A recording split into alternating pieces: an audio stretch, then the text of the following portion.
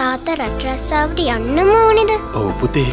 ඇයිඒ පුතාට සතුටින් ඉන්න ඕන හින්දනේ. ජාවරම්කරුවන්ට අහුනුවී වැදගත් විදිහට වැඩටික කරගෙන සතුටින් රට යන්න.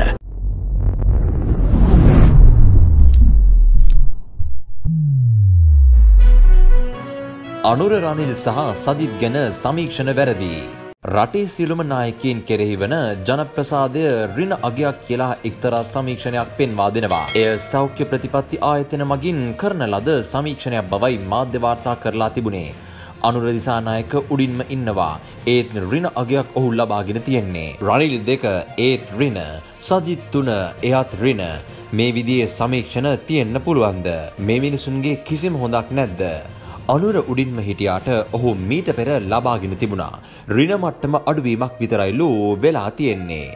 මේක එච්චරම පිළිගන්න පුළුවන් සමීක්ෂණයක්ද කියන එක ගැන ප්‍රශ්නයක් මතුවෙනවා. අංක එකට ඉන්න අනුර ගනිමු. තාම රට පාලනය කරලා නැති නායකයෙක්. JVP කියන්නේ පොඩි පක්ෂයක්.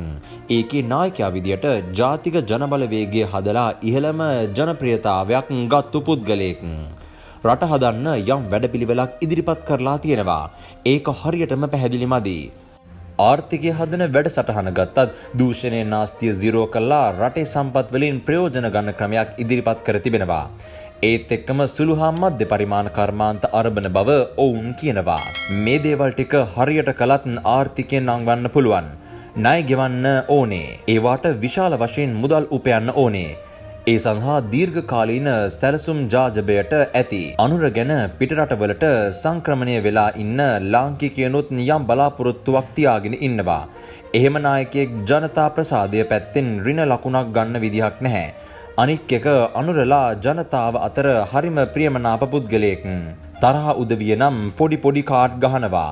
ඒ වුණාට ඒවා ගණන් ගන්නේ නැතුව මුළු රටම ફોකස් කරලා වැඩ කරන්න අනුර try කරනවා. අනුර දිනුවොත් ව්‍යවස්ථාව වෙනස් කරලා ජනාධිපති පාර්ලිමේන්තුවට වග කියන තත්වයක් හදන බව ප්‍රකාශ කර තිබෙනවා. එහෙම කෙනෙක් ඍණ ලකුණක් ගන්න බෑ. අපි ඊළඟට රනිල් ළඟට යමු.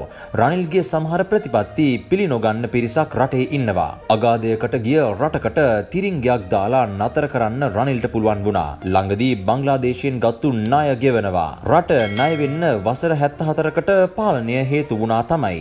ඒත් රනිල් කළමනාකරණේ දක්ෂයෙක් කියලා ජනාධිපති ධූරයට පත් වෙලා මේ දක්වා පෙන්නවා. එතුමා රට පාලනය කරන විදිය ගැන විවේචනය තියෙන්න පුළුවන්. ඒත් ඒක ඕනෑම පාලකයෙකුට මුහුණ දෙන්න වෙන තත්ත්වයක්. කොහොම වුණත් රනිල් ගෝටාගේ පාලනය තුළ හා ඉන් පසුව තිබුණු සමාජ ආතතිගත තත්ත්වය සෑහෙන දුරට සමනය කළා. එහෙම කරපු මිනිහෙක් රින ලකුණක් ගන්නේ කොහොමද? පිරිසක් විරුද්ධ වුණත් ඔහුට කැමති ලොකු පිරිසකුත් ඉන්නවා. සදිට්ටත් මේ කතාවම අදාළයි. ඒත් තාම රට පාලනය කරලා නැහැ. පාර්ලිමේන්තුවේදී විපක්ෂ නායකයා හැටියට හොඳට ප්‍රශ්නවලට මුහුණ දෙනවා. විපක්ෂයේ හිටියත් එතුමාට පුළුවන් මහජන සේවාව එතුමා කරනවා. රෝහල් වලට අවශ්‍ය උපකරණ ලබා දෙනවා. පාසැල් වලට බස් රථ පරිත්‍යාග කරනවා. බස් එකක් ගන්න බැරි පාසලකට ඒ උදව්ව වැදගත්. රෝහල් වලට ඒ සේවය කොහොමටවත් අත්‍යවශ්‍යයි. එහෙම කෙනෙක් ඍණ ලකුණක් ගන්නේ කොහොමද? සටහන විමලනාත් විරරත්න